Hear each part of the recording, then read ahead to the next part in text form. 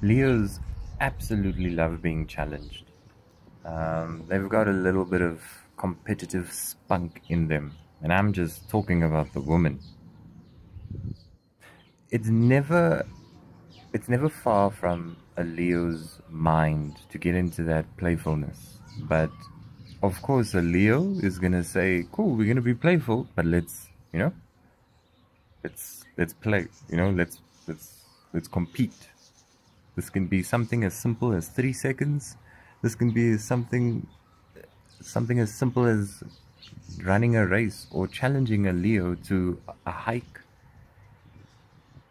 Every time I'm with the Leo, I'd look at a hiking trail now and literally I know exactly how they're gonna react. So I'll do this. I'll be like, "Oh, that's the difficult trail," and then I'll look at them and I'd be like, "Yeah, no, let's do the easy trail. I think you'll be better with the easy trail." Oh, oh, watch a Leo react.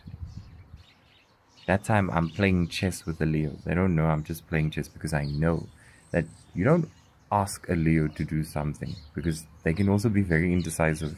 They have too many thoughts there in their heads too many things running around in their heads or they're busy with too many things. That's why they speak fast sometimes. They think very fast and you got to slow them down. I always do that with a Leo. When I send someone with a Leo in public or whatever, I always tell them, yeah, no, you're to do that one more time for me. You're to say it a lot slower.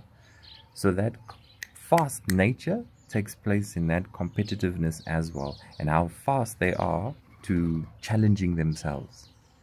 You say a Leo don't know how to do yoga. Ah, a Leo's there in their yoga pants, ready to do yoga. And they'll they'll suffer in silence. That time they, they know they're on the edge. Hey, they'll suffer the, uh, in silence. They won't admit that you are right, that they suffer. No, no, no, no. To admit that you're right and they're wrong. Oh, goodness. Gee whiz. No. No, no, no. That's that's rare. That's like the Queen's Jubilee. That happens once.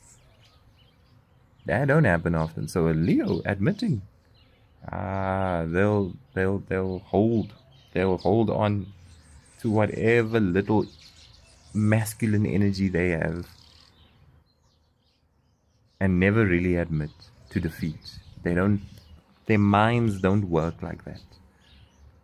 So if you know a Leo, please tell them that there's a boot camp coming up in October. Only 10 Leos get to join this boot camp that I've designed. If you know that I know you very well and it freaks you out, then let me tell you that that boot camp is a challenge, but it's not the type of masculine challenge that you're used to. Um, I think the boot camp is actually more tailored to getting the soft version of Leo out. The playful version. I like the competitive edge. I just would have liked if a Leo was also okay to admit and open up and not be like a dog with a bone. Because literally that's how Leos can be, man. They can be like a dog with a bone about certain things. Whether you have a Leo mother, whether you have a Leo father, whether you have a Leo sister, brother, even if they if they're the eldest, even worse. Even worse. Dog with a bone. Don't challenge them to nothing because they will literally they'll literally give themselves back themselves in doing anything. They they won't back down to a challenge. They'll do it. But I love them for that. So if this relates to you, please send this to a uh, or rather if this relates to you, comment in the comment section. And uh, if you know a Leo, send this to them. Let's find out whether this relates to them as well.